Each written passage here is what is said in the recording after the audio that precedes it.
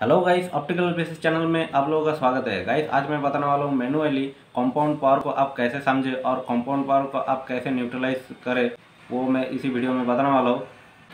तो video start करने से पहले मैं बोलना चाहता हूँ कि जो लोग मेरे चैनल अभी तक सब्सक्राइब नहीं किया प्लीज़ मेरे चैनल सब्सक्राइब कर देना और बेल आइकन घंटी को भी प्रेस कर देना, ताकि मेरा हर वीडियो आप तक पहले पहुँचे। तो चलिए वीडियो शुरू करते हैं। तो गाइस, आप देख सकते हैं मेरे पास ये लेंस है। कैसे ये कंपाउंड पावर है या नहीं, ये कैसे आप समझे? तो इसको जानने के लिए आपको पहले लेंस में देखना है सिलेंड्रिकल पावर है या नहीं। तो सिलेंड्रिकल पावर चेक करने के एक ही तरीका है। तो लेंस ऐसे घुमाओगे तो पीछे का बैकग्राउंड ऐसे रोटेट होगा तो आप समझ जाओगे कि इसमें सिलेंड्रिकल पावर है। तो पहले ये सिलेंड्रिकल पावर आप देख लेना है प्लस में है या माइनस में है। तो सिलेंड्रिकल पावर कैसे आप आइडेंटिफाई कर सकते हो? प्लस में है या माइनस में ये मैं वीडियो बना चुका हूँ। तो मेरे चैनल में जाके आप देख सकते हैं। और वीडियो के लिंक भी मैं डिस्क्रिप्शन में दे दूँगा। उधर भी जाके आप देख सकते हैं।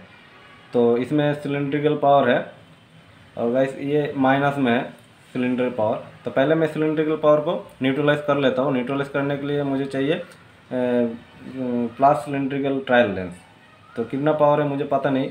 मैं एक एक ट्रायल लेंस लेके मैं चेक करूँगा सिलेंडर वाला तो चलिए चेक करके दिखा देता हूँ। तो गैस आप देख सकते हैं, मैंने 0.75 प्लस सिलेंड्रिकल ट्रायल लेंस लिया है। ठीक है? तो इसको मैं ऐसे रखूँगा। आप देख सकते हो। तो अभी इसको लेंस को मैं घुमा के देखूँगा कौन सा एंगल में ये रोटेट होना बंद हो रहा है और क्लियर भी दिख रहा है। अभी भी थोड़ा रोटेट हो रहा है गाइस तो मुझे और थोड़ा ज़्यादा पावर लेना है। ज़ीरो पॉइंट सेवन फाइव लिया तो plus one cylindrical trial lens लेकर चेक करता हूँ। Guys plus one cylindrical trial lens लिया है मैंने। तो अभी इसको लगा के मैं चेक करके देखता हूँ।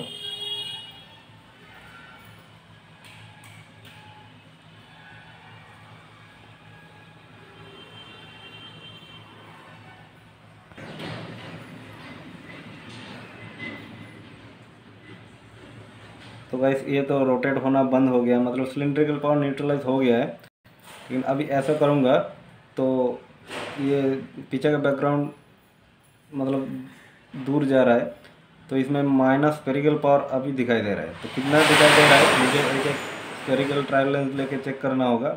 मतलब ये पावर माइनस में है तो plus spherical spherical trial lens लेके मुझे चेक करना होगा।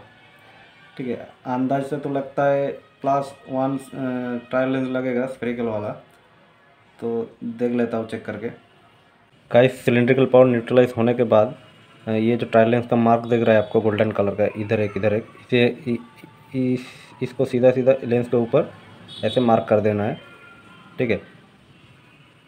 ताकि ये जो न्यूट्रलाइज पॉइंट है आपको ढूँढने में आसान रहेगा।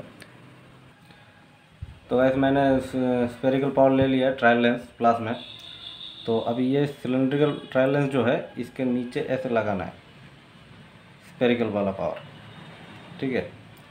ये ऊपर रखना है सिलेंड्रिकल को सिलेंड्रिकल पावर को, नीचे रखना है स्पेरिकल पावर को। फिर ऐसा बिठाना है, फिर लेंस को ऐसे देखना है। ठीक है? पहले वो एंगल में लगा देना है लेंस को सिलेंड्रिकल लेंस को, जिसमें जो एंगल में न्यूट्रलाइज हुआ था, फिर स्पेरिकल पावर रखना है, उसका नीचे, फिर देख लेना है।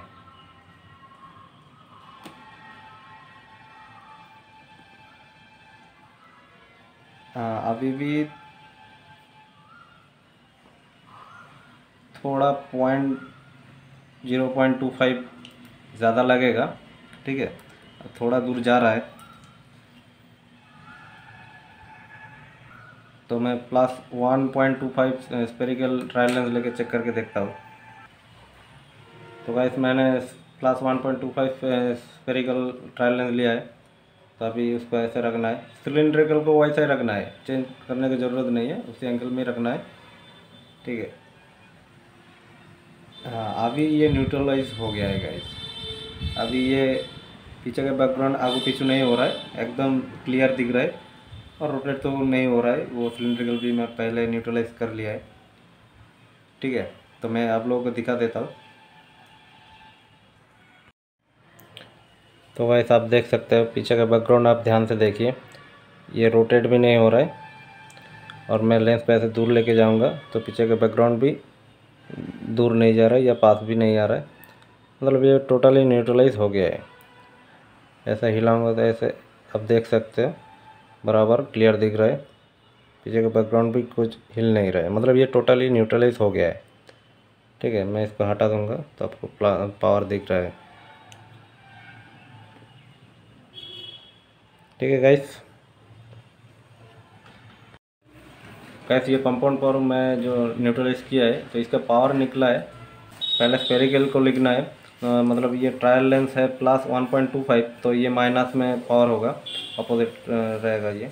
तो माइनस 1.25 पेरिकल और माइनस वन सिलेंड्रिकल तो आप एक्सिस तो कुछ भी एंगल में लगा सकते हो, इसका पावर तो वही है।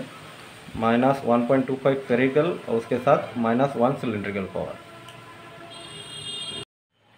तो कंपाउंड पावर को ऐसे न्यूट्रलाइज किया जाता है और आइडेंटिफाई भी ऐसे किया जाता है। तो पहले सिलेंड्रिकल पावर को आप न्यूट्रलाइज करें, फिर जाके आप देख सकते हो स्पेरिकल पावर है या नहीं उसमें तो फिर जाके आप स्पेरिकल ट्रायलेंस लेके आप चेक करके देख सकते हो। ठीक है, तभी आप न्यूट्रलाइज कर पाओगे। तो कंपाउंड पावर ऐसे न्यूट्रलाइज होता है। अभी इसी लेंस को उसी एंगल में एक्सिस आप कैसे लगा सकते हो, उसका वीडियो में मैं बता चुका हूँ, बना चुका हूँ तो मेरे चैनल में जाके भी देख सकते हो। तो वीडियो का लिंक भी मैं डिस्क्रिप्शन में दे दूँगा। तो वीडियो का अच्छा लगा तो प्लीज़ लाइक, शेयर, सब्सक्राइब कर देना और स्पेक्टेकल के बारे में और कुछ जानकारी चाहिए तो कमेंट भी कर सकते हैं।